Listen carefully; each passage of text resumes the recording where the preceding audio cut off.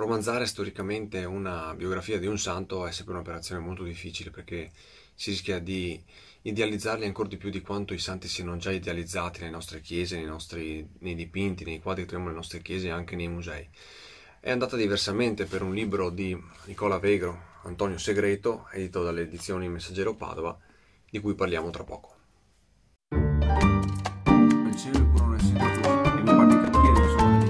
Oggi sembra più spesso ci si lamenta cercando di, di, uh, di serie B o per sopravvivere.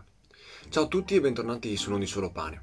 Oggi vi presento questo libro, di nuovo Antonio Segreto, di Nicola Vegro, La forza di un uomo è il sottotitolo, edito per edizioni Messaggero Padova. È un libro, appunto, un romanzo storico che va a tracciare, va a fondo sulla, sulla biografia, sulla vita di Sant'Antonio da Padova. Sant'Antonio eh, per i padovani è un santo a volte molto amato, a volte misconosciuto. Io sono padovano e quindi lo posso dire in prima persona. Anch'io mi sono accorto tardi della presenza di questo gigante nella mia città e nella basilica del santo ovviamente. Per questo è anche il libro che ogni padovano dovrebbe leggere, non dovrebbe lasciarsi scappare. L'immagine che abbiamo di Antonio spesso e volentieri nell'iconografia, diciamo, popolare classica è falsata rispetto a quello che lui è stato nella realtà. Eh, l'immagine che abbiamo più spesso è quella di lui che tiene in braccio il bambino Gesù con il giglio sotto, sotto il braccio e mm, con, uno, dire, con un'aria molto, molto beata. In realtà Antonio aveva anche una fisionomia molto diversa da come viene raffigurato e noi probabilmente abbiamo questa tendenza a, a calcare sull'iconografia per rendere sempre un po' eh, più belli i santi e le sante in base ai nostri canoni estetici, ma appunto Antonio era diverso ed era diverso anche ehm, dal punto di vista caratteriale, dai suoi sermoni e da come si evince dal libro di, di Nicola Vegro, Antonio aveva un carattere eh, molto schietto, molto diretto. Eh, il bello, la parte interessante di questo romanzo storico è che appunto si fonda, si basa su eh, dei dati storici. Proprio una nota dell'editore precisa questo aspetto. Molti dialoghi di Sant'Antonio inseriti nella narrazione sono ispirati ai sermones da lui scritti. Quando la citazione dai sermones è letterale il testo è rientrato in corsivo.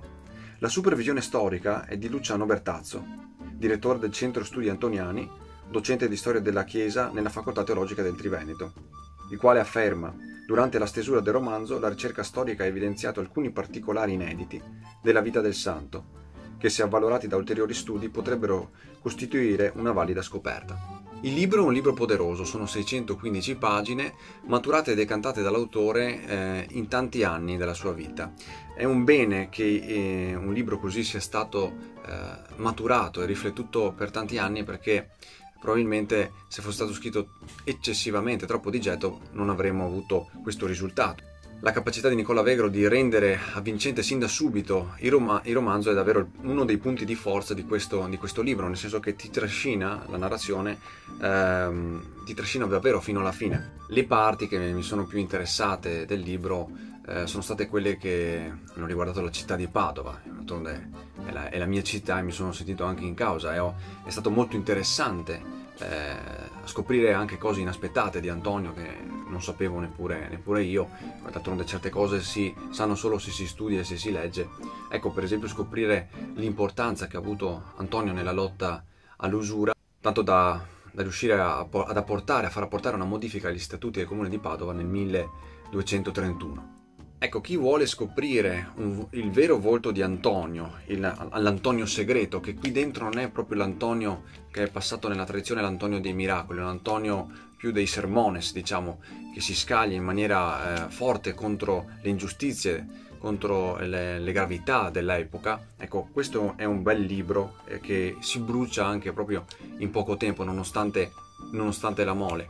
Quindi me ne consiglio davvero eh, la lettura e anche la meditazione in un certo senso, perché il testo riporta in, come avevamo detto all'inizio, alcune parti ehm, in corsivo che fanno eh, riferimento ai, ser- ai sermoni di Antonio. Bene, vi ringrazio di essere stati sul canale, se la recensione vi è piaciuta vi chiedo di condividerla e noi ci sentiamo per un prossimo libro.